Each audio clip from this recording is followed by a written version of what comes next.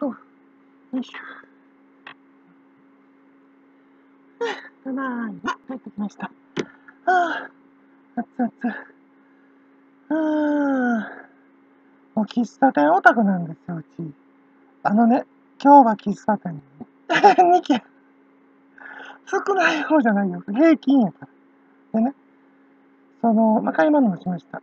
あの、買い物ってね、バッグ買ったんかとか、そんなんちゃうから、服買ったんかとか、前買ってるやんか。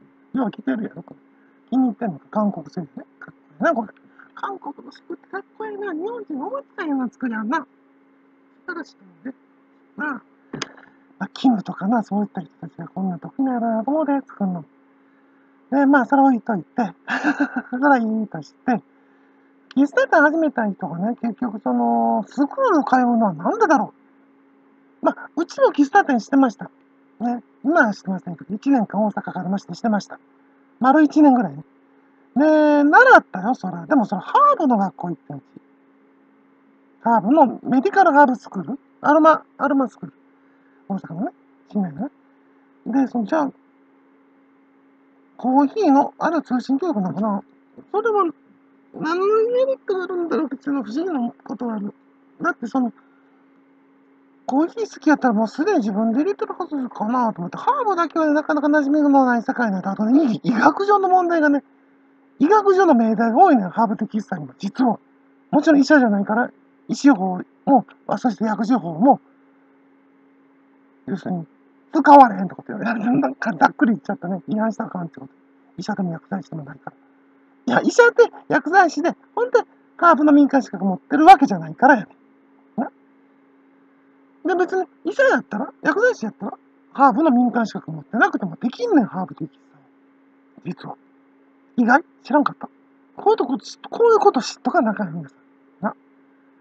で、ただじゃあ、ハーブティーのスクール通ってたから、非常に便利なことがある。言わへんけど。ね。じゃあ、コーヒーはどうなんだろううーん。スクールはあるんでしょうけど、まあ普通は通信でしょコーヒーの場合は。ハーブとかね、そのアロマショップ、でアロマスクールが全国にあるから。でそそこでそのハーブの勉強もできるわけ。まあ絶対大抵できるでしょ。ほぼできるんじゃないでそこで受験とかもできるのかなそれやったら。あ、受験だけはちゃうわ。受験だけはあの、職員生みたいなの講習と同じように、どっか行かなかったな。で、ただね、あのーコーヒーを、まあ、通信やった友達も同級生もできへんし、まあまあ、そこでか同級生できるの？それと、まあ、まあ、あんまり言わんとこはな、秘密やから、こんな。で、当たり前でしょ？で、えー、っと、それは大した資格ちゃうから、だから同業者意識を高めるために秘密にしてんのよ、ちょっとクスクスクス。で、じゃあコーヒーってどうですか？って全国に喫茶店あるやんか。喫茶店通いせえへんのかな、普通。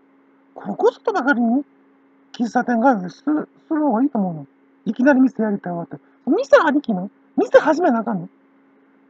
店始めたらそれ仕事なんですか？それよりもいろんな喫茶店も行きまくった方がいいよ、絶対。喫茶店になりたいなら。わかる言ってること。え、それ遊びやん？ああ、それ遊びのメールやん。じゃあ、うまくいくかも。え、それでも結構仕事でしょって。仕事に思えるの？どんだけか来んの？とかな意外やるよ、みたいな。逆転の発想ちゃうね普通喫茶店始めるってこと考えてみなさいよ。どういうきっかけで始めるの？スクール行きたいから開業したいから喫茶店始めるんですか？ええー、ちょっと違うと思うな。仕事せなあかんからえ、それは旦那と別れたからでしょ？例えば。ね？でも、腕前がすごいでしょ？旦那がうまいうまいっていろいろ食べてもらってた料理、軽食。で、コーヒー作る腕前。まあ、コーヒー作る腕前はね、ママさんちょっとええかよ。でもね、喫茶店でじゃあ自分でブレンド作らなきませんか、ママさんが。マスターは自分で作る。嫌なこと言った。ママさんは自分でブレンド作らんでもええって実は。嫌なこと言った。コーヒー、喫茶店業界の真実。乗っていいよ、こんなん。あ、言っちゃった、言っちゃったよ。な、面白い話やったらこれだけでも。じゃあ、アップするな。